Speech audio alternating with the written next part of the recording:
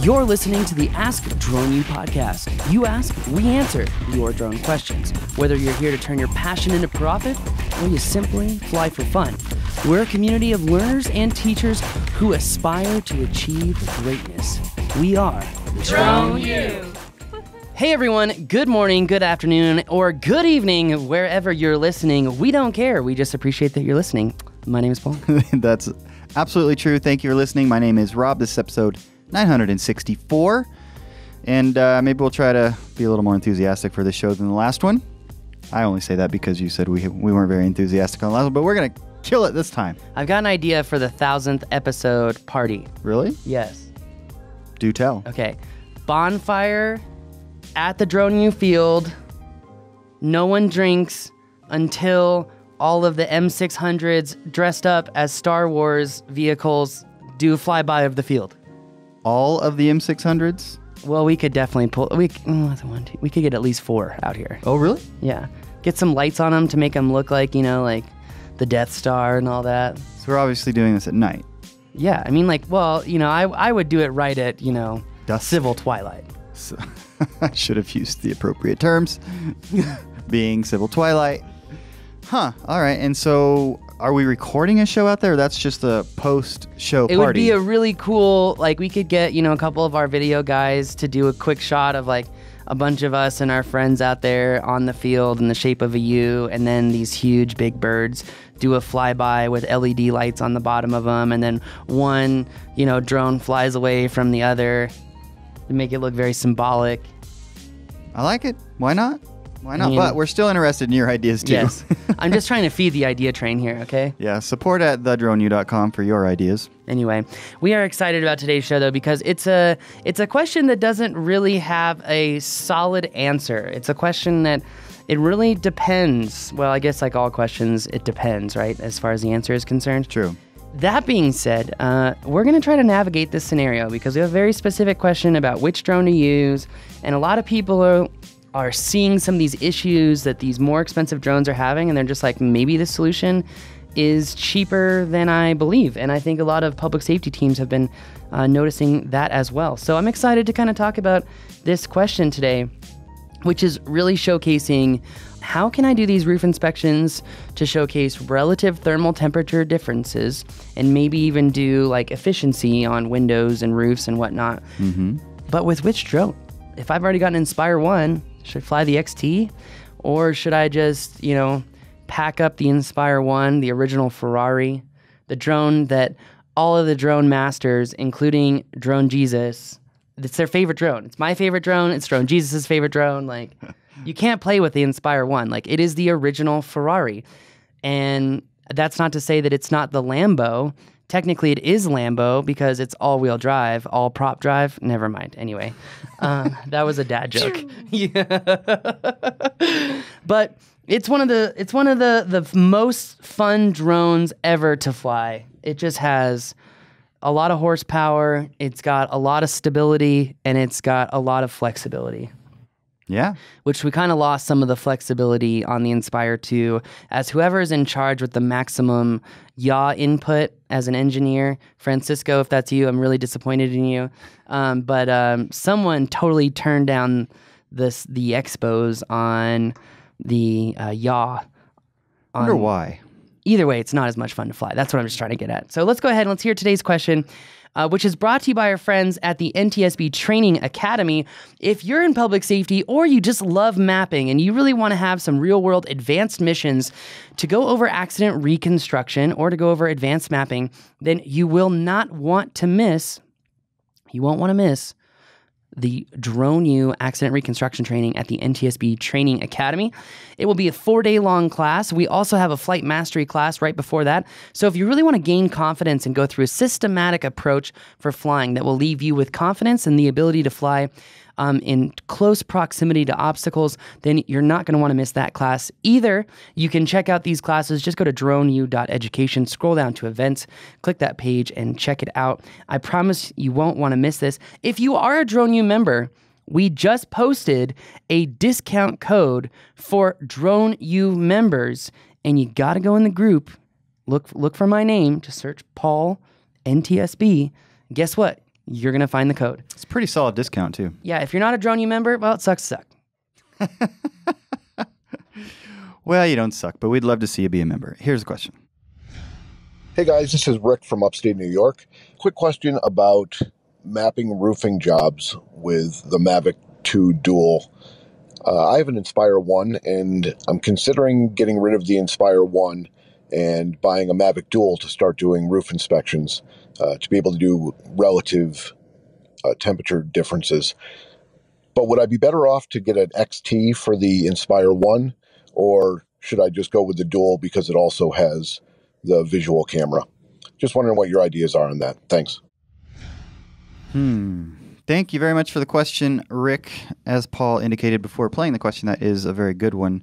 And uh, we know you have a good one as well, so get it in. At askdroneu.com, we definitely want to hear from all of you. How much is an XT camera? Ooh, let's actually just go ahead and uh, go to DJI.com and look up what the XT is because the XT is a little bit different from the XT2. Okay, so professional. Where are we? Enterprise. Enterprise. XT. The XT camera, Zenmuse XT. Here we go. Let's go ahead and uh, we want to buy DJI. Where's the buy button? Making this buy thing a little Come on, too difficult. take my money. Okay, there's no buy. All right, let's Gotta see. Go to the store. Buy DJI XT. You know, I think this is like reminiscent of how DJI has been treating their enterprise people. This says twelve thousand dollars refurbished, Wow, you get an XT2 a lot cheaper than that. and that's at uh, B and H. I thought it was like five or six grand This now. says as low as six grand Yeah. at OEM cameras. This goes to show for all of you uh, drone stores out there, it probably helps to have the pricing on your website. Just just throwing it out there. Hold on. I just added it to my cart. Just show me the cart. Let's see if drone nerds. Hold on. I'm trying to trying to buck the system. Boom! Buck the system. Drone nerds, thirteen thousand seven hundred and twenty-five dollar make you holla. um I wonder. So I, I gotta say, seeing the price point of this camera, it totally negates everything I told you in pre-show about my dilemma about Seriously? answering this question. yeah, I Um, mean, so we were gonna go through like, hey, what's you know what's the best drone for this this problem? You know, because an Inspire One is pretty cheap. You can get it pretty cheap. You know, the different the Mavic especially when you already have one. True, the Mavic 2 Enterprise Dual, very small thermal sensor. I think it's literally 150 or 160 pixels across. Very, very, very, very, very small sensor. What does that mean? Gotta fly a lot closer to get the same caliber of image that you could get with the FLIR XT camera. But looking at the price point, OEM camera is six grand. Here, Drone Nerds, 13,725. But this is a radiometric camera, so I'm not sure which sensor size that is. But either way, frankly, that is too much money. If this guy wants to do these roof inspections, maybe he's got an inspection company, whatever it is, I'm going Mavic 2 Enterprise Dual, hands down, no questions asked, because I've learned my lesson in buying expensive DJI equipment and then it not being reliable. Right. The the Mavic series always works. The Phantom series always works. I mean, like we just did that show where we're talking about, you know, I want to fly a you know really nice camera and I want to do all these things. Fly a damn Phantom, because you know what? It's gonna work every damn time. That's why. You also get no Very reliable. no BS. You're gonna get 4K 60. It's not gonna crop in on the sensor like an X7. You're just gonna get it. It's gonna work. And frankly, we still live in a world where 90% of people are looking at videos on their damn phone, so they're not gonna be able to see the difference between 4K from an X7 Super 35 camera and an you know uh, the equivalent of an X4S on a Phantom. okay? Yeah, absolutely. So let me ask you this: uh, You said that you're going to have to Sorry, fly Getting shorter. off the high horse now. No, no, you're good. You're going to have to fly closer to the object with the Mavic. How much closer? What What are we talking about here? You need to be within six inches. I'm exaggerating a little bit, but how close do you need to be relative to using the XT? This all depends on the lens that's on the camera. So, for example, on an XT camera or XT2, you can have a 13 millimeter lens, a 19 millimeter lens. all these options. Yeah, there's so many lens options. So, there's a lot of different options. That being said, it really could vary. I mean, you could have the Inspire flying at 60 feet versus the Mavic 2 Enterprise at 20 feet. But you could do it from 20 feet.